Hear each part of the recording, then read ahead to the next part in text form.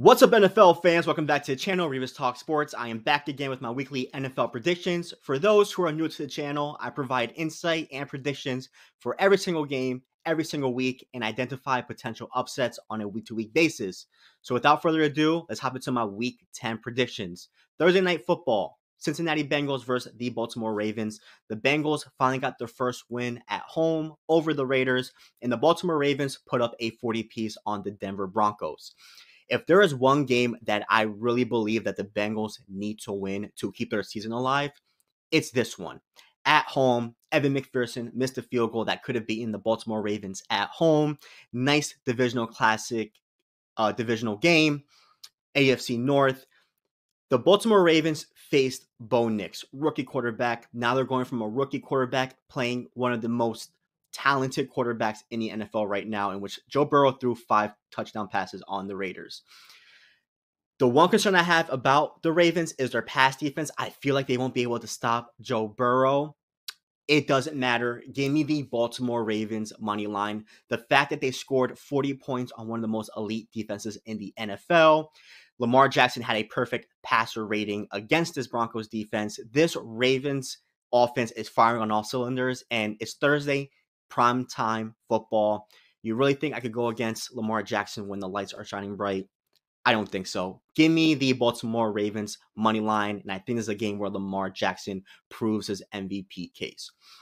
New York Giants versus the Carolina Panthers. The New York Giants lost to the Commanders, and the Panthers get their W against the New Orleans Saints. Zero input in this game. Don't understand why we had to do Germany like that, sending off these two teams for a football game in Germany, but no input. I probably won't be watching this game, but give me the New York Giants money line. Pittsburgh Steelers versus the Washington Commanders. The Steelers are coming off their bye, and the Commanders got a nice victory at MetLife Stadium over the New York Giants this is going to be a tough game for me. I feel like both teams have been very solid this season. Both have winning records. Um, the Commanders are undefeated at home, but if you look at those home wins, a lot of those home wins came. Three of them came against subpar teams, and one of them came on a hail mary against the Chicago Bears. The Steelers, since 2022, Mike Tomlin, the Pittsburgh Steelers have the most away underdog wins. Um, but Give me the Steelers money line. I like the upset here. Russell Wilson has the Steelers offense clicking. Yes, they defeated the Jets and the Giants, but I just feel like I like the Steelers in this position. I feel like the Commanders are riding high from their from their season right now, but I feel like the Steelers are a very gritty team. I like how this offense is looking with Russell Wilson, and I think the defense make big plays to stop the Commanders. Give me the Steelers upset over the Commanders. New England Patriots versus Chicago Bears. The the Patriots lose to the Titans and the Bears lose on the road against the Arizona Cardinals. Look, from what from how I view the Chicago Bears, they're just a team that dominates at home against subpar teams. That's the way I view them right now. They've yet to win on the road. They've yet to be a team at 500 or over. That kind of applies in the situation. Chicago Bears are at home playing against a subpar team like the Patriots. Give me the easy W for the Chicago Bears. Bears money line. I think they defeat they defeat the Patriots by two touchdowns. Give me the Bears money line. Atlanta Falcons versus the New Orleans Saints. The Falcons defeated the Dallas Cowboys, and the Saints lose to the Carolina Panthers. The Saints are on a seven game losing streak and lost to the Panthers. You think I'm going to pick them? Give me the Atlanta Falcons money line. I don't see a way of the Saints team beating the Falcons. Yes, I understand it's the divisional matchup. Divisional matchups, anything can happen, right? Underdogs can beat the favorites. Don't see it here. Head coach got fired. The Saints are probably sellers at this point. This team really needs a fresh rebuild. This team came their Super Bowl was week two against the Dallas Cowboys, and everything has gone downhill. So the Saints have turned to the Aints because I ain't picking them right now. Give me the Atlanta Falcons money line. Denver Broncos versus the Kansas City Chiefs. The Denver Broncos lose to the Baltimore Ravens, and the Chiefs are coming off their Monday night game against the Tampa Bay Buccaneers. I think this will be a very low scoring game. I don't think the Chiefs will put up 40 on this Denver Broncos defense, and I don't think that I can see the Broncos defeating the Chiefs at home. So give me the Chiefs money line within their last 13, 14 meetings. The Chiefs are 12 and 1, 13 and 1, I believe. And um, I think this is a game where the Chiefs defense will carry a lot of the load since the offense hasn't been that explosive consistently during the season, even though this is a solid Broncos defense. But give me the Chiefs at home. I think this, the defense make big plays to put the offense in the best position to score. Give me the Chiefs money line against the Denver Broncos. But this game is close. I think it comes down to within a touchdown. Buffalo Bills versus the Indianapolis Colts. The Bills win at home against the Miami Dolphins, and the Colts lose against the Minnesota Vikings. I think this game is going to come down to who has the best running game. Give me the Buffalo Bills. They defeat the Colts. Um, I just feel like the Bills are just firing on all cylinders. They've been very hot. They're leading their division right now, and I don't see a team, especially the Colts, stopping this Bills team that's humming right now. Probably the Ravens, but in this matchup, I do not see the Colts being the Bills. Give me the Bills money line. San Francisco 49ers versus the Tampa Bay Buccaneers. The 49ers are coming off their most recent win against the Dallas Cowboys, and the Tampa Bay Buccaneers are coming off their Monday night game against the Kansas City Chiefs. This is up in the air if CMC is going to play this week. Um, he might, but it will definitely be split carries. But give me the 49ers. Very hard to choose this Buccaneers team without Mike Evans and Chris Godwin. Um, and I think the 49ers find a way to not only beat this Buccaneers team by a touchdown, but I think the 49ers start to get things rolling and clicking before the season ends, which is in the next few weeks. So I think the 49ers prove a statement in this game. Give me the 49ers money line.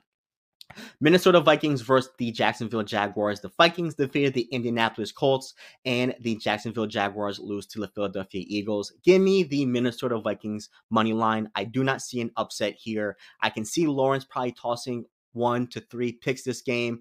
Um, I don't see how he can handle this Brian Flores defense, nor do I see this Jaguars defense stopping Justin Jefferson. I can see a hundred receiving yards and two touchdowns in this game. Give me the Minnesota Vikings over the Jacksonville Jaguars. Tennessee Titans versus the LA Chargers. The Titans defeated the Patriots and the Chargers defeated the Cleveland Browns. I think this will be a very low scoring game, even though the Titans are a bad team. Their defense is a bit stout from certain metrics, certain metrics. Um, but give me the Chargers money line. I just feel like the Chargers are just been a very quality team this year. One of the top offensive lineman groups in the NFL. They went in the trenches, and the defense has been really solid. So I like the Chargers in this game to defeat the Titans. Don't see a huge upset here. So give me the Chargers money line. Up, we have the Dallas Cowboys versus the Philadelphia Eagles. The Dallas Cowboys lost to the Atlanta Falcons, and the Philadelphia Eagles defeated the Jacksonville Jaguars. I understand this is a divisional matchup, but give me the Philadelphia Eagles money line. There is no way that I trust this Dallas Cowboys team. The Cowboys suck. Even Dak Prescott said it. And with Dak being out for a few weeks with his hamstring injury, and if CeeDee Lamb does play and takes one bad hit to the shoulder, he's probably gone for the game. But this is the Saquon Barkley game. I do expect him to get at least three touchdowns this three touchdowns this game, and I just think that the Eagles will run the ball all over the Cowboys in this game. So give me the Philadelphia Eagles money line, Barkley with three touchdowns that I'm predicting in this game. New York Jets versus the Arizona Cardinals the Jets are finally coming off their win after a nice losing streak.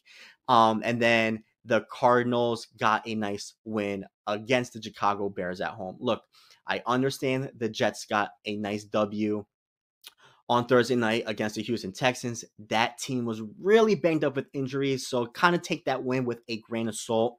And the Cardinals are on a nice winning streak. They defeated Chicago Bears. They defeated the Miami Dolphins. So they've been on a nice winning streak so far. But give me the Arizona Cardinals. In the last five games, they are four and one. This team's been very hot. They're very gritty. I need to see a little bit more of the Jets for me to buy into them right now. But this Cardinals team, they're actually number one in their division. So four and one in their last five games, leading their division. Very gritty, very tough, nice winning streak. I like them with a slight edge over the New York Jets. So give me the Cardinals money line. Detroit Lions versus the Houston Texans. The Lions defeated the Green Bay Packers, and the Texans lose to the New York Jets. If there is one belt to ass matchup right now, I think it's the Lions defeating the Houston Texans. So give me the Texans, give me the Lions money line over the Houston Texans. This Texans team is very banged up. Yes, I do understand that there's a possibility of Nico Collins coming in this game, but you really can't go against the Lions who've been just steamrolling teams the past few weeks. And I really don't see the Texans being that team to stop them. Um, I see a game where the Lions are just grounding pounding with Montgomery, Gibbs, and then Jared Goff goes 21 for 21 with 150 yards and two touchdowns, and they still win. Give me the Detroit Lions money line. And the Miami Dolphins, first the LA Rams. The Miami Dolphins lose to the Buffalo Bills, and the Rams are coming off a nice divisional victory over the Seattle Seahawks. This is going to be a very tough game. Um, the Dolphins are on a losing streak, the Rams are on a winning streak. The Rams are coming back home. I will probably go upset. Give me the Miami Dolphins over the LA Rams. I find it very hard to believe that Tua will lose three straight with the Miami Dolphins. Um, they've scored 27 points within the past two games, and their average losing margin is about two points. So it's pretty, and they've lost to divisional for, for teams first in their division the Cardinals and the Bills. So it's more so close but no cigar situation for the Dolphins. And the Rams are riding high off that Vikings victory, riding high off that overtime victory of the Seahawks. But I think the Dolphins finally snapped this losing streak, and I don't see Tua and this Dolphins team losing three straight. Give me the upset on Monday night, Miami Dolphins over the LA Rams. Thank you so much for watching this video. If you enjoyed the content, please give the video a thumbs up and comment below on your Week 10 NFL picks. Thank you so much and catch you guys next week.